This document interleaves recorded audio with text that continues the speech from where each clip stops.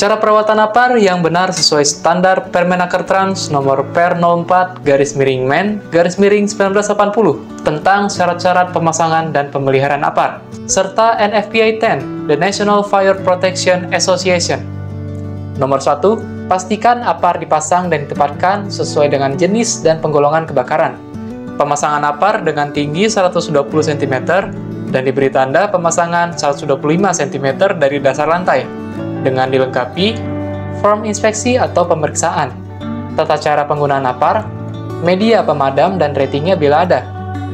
Penempatan APAR harus ditempatkan pada posisi yang mudah dilihat, mudah dicapai, dan diambil serta dilengkapi dengan tanda pemasangan. Nomor 2, penempatan APAR dengan APAR lainnya dengan jarak tidak kurang 15 meter. Nomor 3, pastikan manometer alat pengukur tekanan APAR atau pressure gauge menunjukkan jarum manometer berada di warna hijau. Nomor 4, kemudian cek visual kondisinya.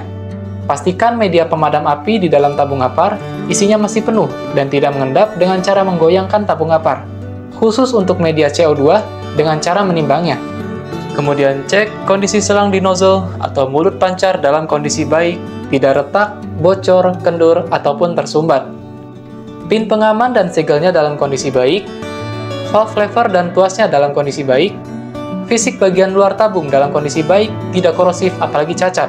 Label harus dalam kondisi baik. Dan yang terakhir adalah menjaga kebersihan apar.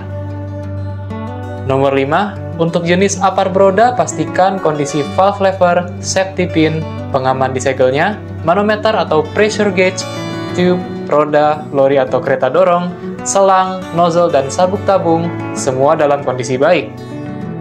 Nomor 6, untuk alat pemadam api yang tidak bisa diisi ulang, lakukan pengecekan pada indikator tekanan napar dan kondisi fisik tabungnya.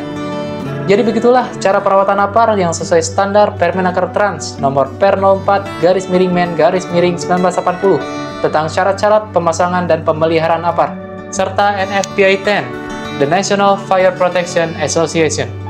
Saya Iko dari For Life CTV.